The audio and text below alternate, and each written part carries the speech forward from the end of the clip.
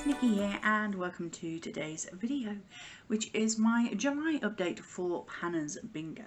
This is a Pantastic Ladies collaboration created by Caena Grey so I will link all the information you need in the description box below the video so please do check that out before you leave. Okay so as you know I'm taking a break I'm going to repeat that throughout most of my project pan opening videos uh, for this month. Uh, so don't expect too much of a change. Um, but I do have a couple of products rolling out. So uh, for 062 on the bingo board um, it, the prompt was pretty embossing. So I picked my very shiny packaging uh, I Heart Revolution um, like the Marie collection, uh, you know, from Aristocats, um, highlighter in the shade Beloved. Um, it does have, or it did have, a beautiful paw print. Um, I mean, that's upside down, but you know, a beautiful paw print in the uh, product.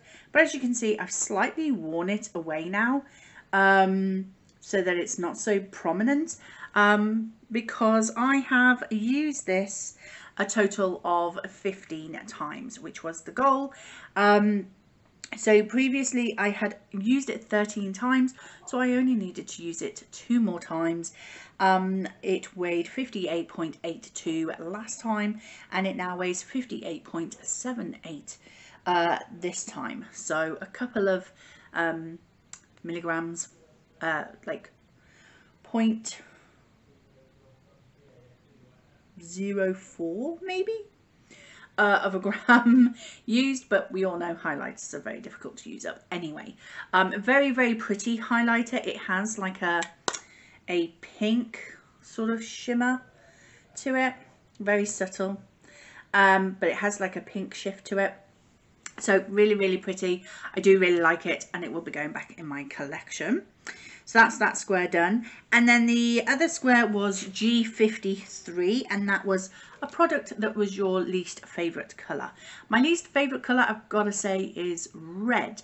I don't wear red clothing very often. I don't wear red makeup very often.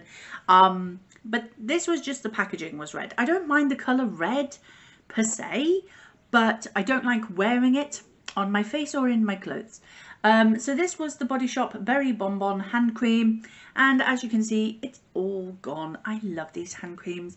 I go through quite a few every year um, and I do always get whatever is the Christmas scents every year um, so I'm always have a steady supply of these in my collection and of course every year I try and get their vanilla pumpkin one as well because like who doesn't love that smell. Um, but yeah so this is from a couple of years ago I believe um, and it is finally finished which was the goal. Um, also as well I don't think I mentioned this last time but for the center square which the prompt was a mini or a deluxe sample I picked out the sample of the Urban Decay lipstick in Blackmail and the reason why I called it more like a, a, mini or a deluxe sample rather than just like a normal sample is because those things do take like a lot of use. There's a lot of lipstick in those samples. Um, so, you know, you're looking at a good 30, 40 uses to finish one of those. Um, now, I can't show it to you today because I have decluttered it. Um, I went to use it um, and um, during my little break and um, there was, something funny. Uh, just coating the top layer of it. And at first I was like ah, it's okay it'll be fine. I'm sure it'll be fine. Um, so I used it I, I, I kind of cleared off the top layer and then I used it and then my lips were a little bit itchy and around that time I got very dry very sore lips as well. And I wasn't sure if it was because of that lipstick or not. So I actually ended up decluttering all of my Urban Decay foil sample lipsticks um, because I did get them back in 2018 so they're a good five six years old. Um, so yeah. That went. So the centre square has been uh, completed um, because of a declutter rather than I finished the product. So, um, so that is that. So moving on to the other products in this project pan.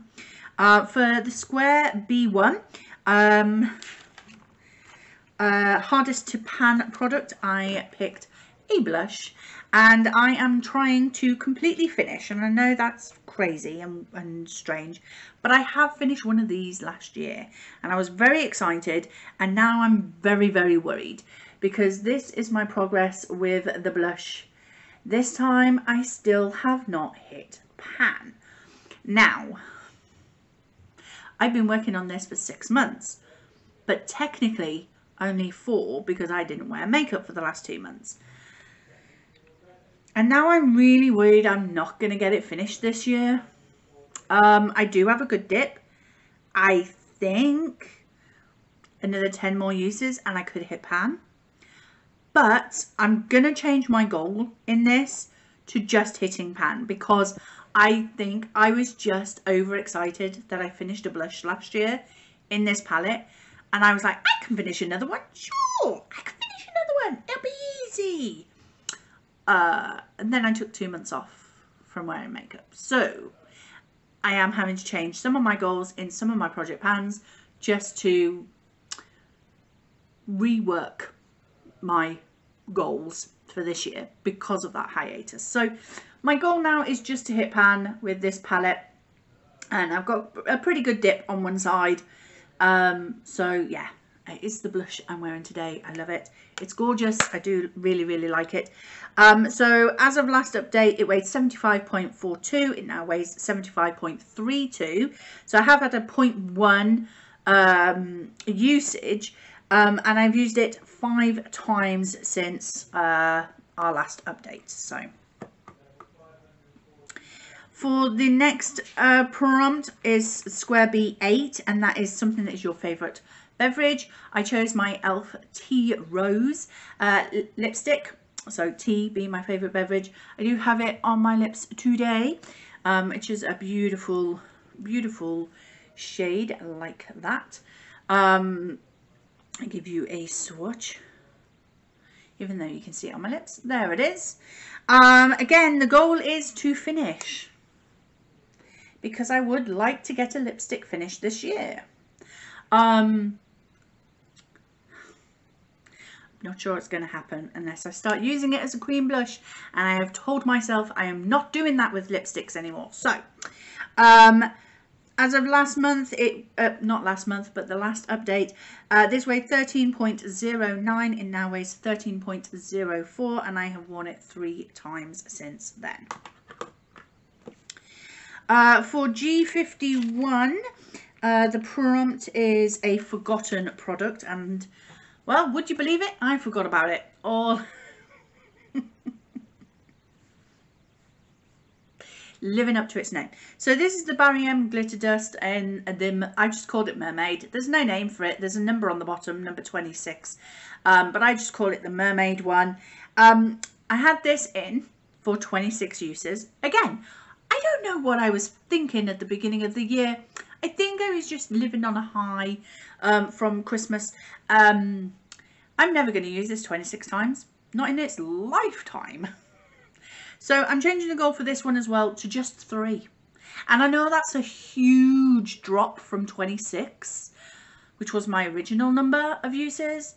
But since January, I have not used this a single time. Not, not once. And I'm panning a green eyeshadow palette in my Pan That palette. So how I've not used this in six months, I'll never know. So three uses might not seem a lot, but I bet you it'll still be here next month. Not unless I really, really like focus in on it. Is that likely to happen? Probably not. But hey. So I want to use it three times now. Just three more. Just get three uses, Nicola. Just use it three bloody times. Okay, so for B12, moving on. Uh, a flower. uh, product. Uh, could be in the name, the scent, or the packaging, etc. I picked out my Ted Baker Violet and Bergamot Body Lotion. Uh, this smells like your granny's body lotion, but you know what? I quite like it. Um, I have been able to use this uh, a couple of times uh, because obviously putting body lotion on was a little easier than putting makeup on. Um, it is into finish. Um, again, I feel like uh, sometimes I give myself too lofty a goal. Um, but it previously weighed 56.15, now it weighs 52.78. I just slap a bit on every time I'm sat at my desk because it is in my desk um, with all my skincare and that. So when I do wear makeup, I'm applying this. But when I'm not wearing makeup, I'm not thinking to apply this. So it is what it is. So that will stay in. Then for the square G55, something used for an alternative purpose, I have my Avon palette in um, it's called Au Natural and um, it was a previously a quad but I had used this shadow up in a previous project pan and hit pan in these two shades. My goal is 30 uses and the alternative uh, way that I use this palette for is I use this in my brows.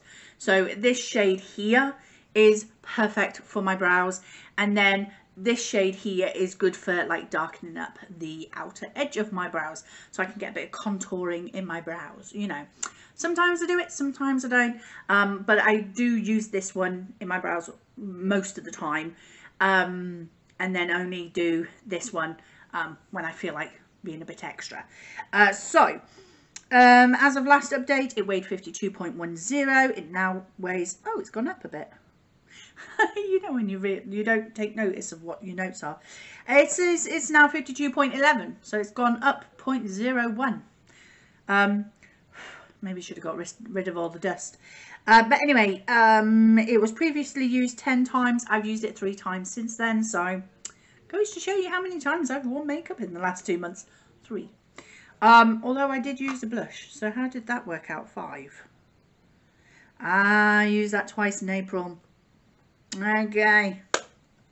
There we go. So yeah, that's that one. So, um, I have been trying to note down the numbers that were called during May and June and then also July. Turns out I was not writing them down in my book though. So, I believe these are the numbers that have been called since May. Please correct me if I'm wrong. If anybody can give me a list of all the numbers that have been called so far, just so I can check, um, that would be great. I tried to search on the Pantastic Ladies Facebook page, but I couldn't find a, a, an actual list that says these numbers have been called so far. Um, so I'm guessing that these are the numbers called um, that I have on my board. So for 070, uh, the prompt is favourite brand and for me at the moment that's got to be Beauty Bay. So I brought in an eyeliner. I know I can get some use out of this. Um, so I'm bringing this in for 10 uses. This is in the shade Ice Lemonade. I have already used one up of this shade this year already. This is a brand new one. It is like a nice yellow, but what it does is it really brightens up my eye looks. So yeah, as I say, I've already used one of these up this year in this very shade. This was a backup um, that I had.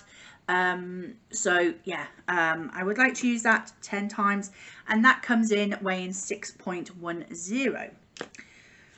The next number I believe called is I-19 and for that the product is the the prompt is hyped so I picked my Urban Decay All Nighter setting spray because this is hyped. This, this is hyped and I believe that it has every right to be hyped because everybody loves this for making sure that their makeup goes nowhere. My daughter swears by this as well because my daughter has a nasty habit despite the number of times I told her not to do this, but she keeps sleeping with her makeup on.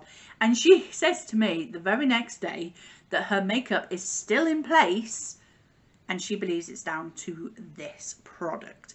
And I keep telling her, I don't care how good the product is, please remove your makeup before you go to bed. Do your skincare and you will thank me later, I promise you. But no, she keeps doing it. 24 years old, thinks she knows better than mum. But anyway, anybody else have that problem with children? Um, I love it a bit. So um, I'm bringing in the Urban Decay All Nighter Setting Spray. Again, I'm going to pull this in for 10 uses. It might not seem like a lot because obviously I use the setting spray every time I do my makeup. But the reason why I'm only bringing it in for 10 uses is because I don't use this every time. I only really use this if I really need my makeup to stay in place. Otherwise, I will just use one of my cheaper uh, setting sprays. Um, if I'm just doing filming or something like that, or just pottering with, you know, makeup and I'm not going anywhere.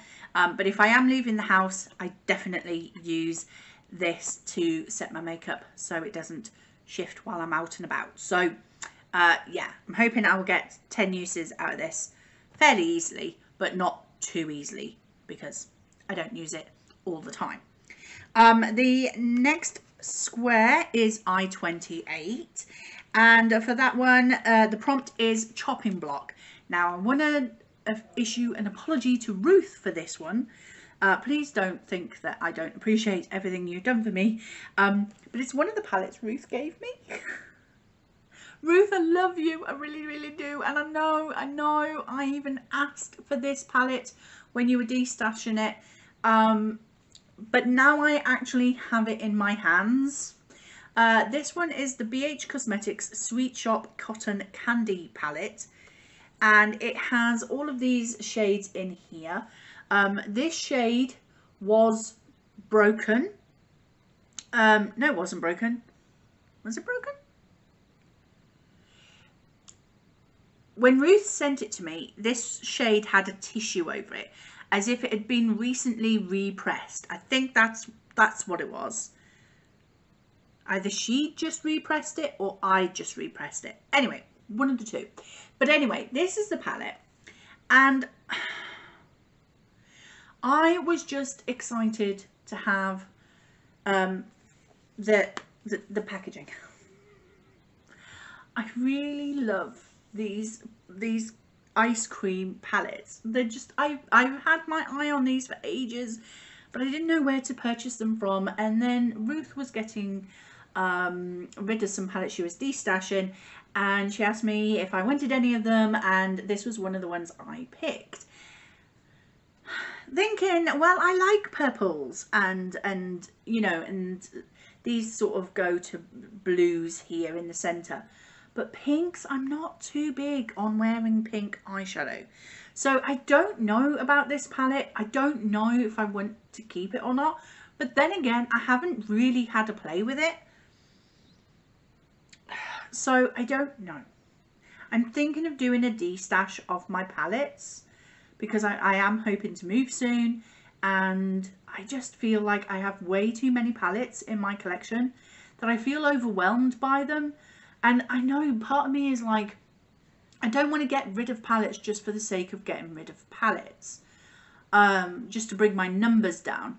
But then, but then there's a part of me saying, yeah, but I'm so overwhelmed with my palette collection and my eyeshadow collection that I just don't know what to wear anymore, you know, and I'm only picking out, like I keep picking out the same palettes to wear over and over again, and I'm not getting to all of them.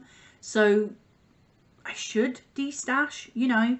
Um, so this is this is kind of on a chopping block, but I need to play with it first to find out if it is something I need to destash or not. So I'm going to bring this in for five looks. So I need to make five eyeshadow looks using this palette. Um, I am going to try and do it no pan left behind style. So uh, try and use all of the shades um, but I, I basically want to make five eyeshadow looks out of this palette. I feel like with eight shades in there I should be able to get at least five different eye looks from it. Um, so yeah, let's let's give that a go. Um, so I'm sorry, Ruth. I feel awful. um, because she gave it to me. Um, so that is coming in for that prompt. And then the last one is N42. And the prompt for that one is a hair product. Now this is difficult for me because I don't have many hair products. But I do have this. This, is, I don't know why I picked this up. Maybe I was just thinking this suits my lazy hair style type of person that I am. Uh, Tresemme Beautiful Strength Proplex Fortifiant up to 99% less hair on your brush Pro Style Tech there's lots of words on here um, Grow Strong leave-in treatment that's the one you need to know it's a leave-in treatment it's it's it's a it's a leave-in conditioner um so yeah I'm going to bring this in for 10 uses because this is brand new but it's not brand new because I've had this for nearly a year now. Actually, I can't remember when I bought you. When did I buy you? I have no idea. Um, but I know I've definitely had this for about a year and I've still barely used it. So, um, yes, I want to bring this in for 10 uses, get some use on this. Um, I forgot to give you weights. The Urban Decay All Nighter currently weighs 139.09. The palette weighs 171.75 and then this uh, bottle overloaded my um, weighing scales so I can't give you the weight for this one but it's heavy because it's still full. So yeah, that is my Panner's Bingo Project Pan update for you. Chaos. I'm having a chaotic filming day today. We're on a roll. Um, so yeah, that is uh, my Panner's Bingo update for you.